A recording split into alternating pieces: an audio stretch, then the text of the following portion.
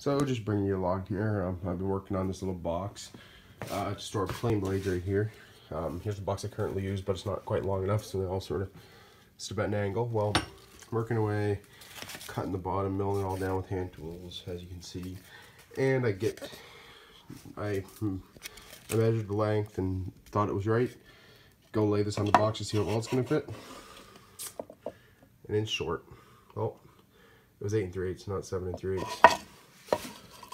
But on the bright side, I believe the width is dead on. But that doesn't matter. So there's a bottom for a box later on. Oh, just happens sometimes.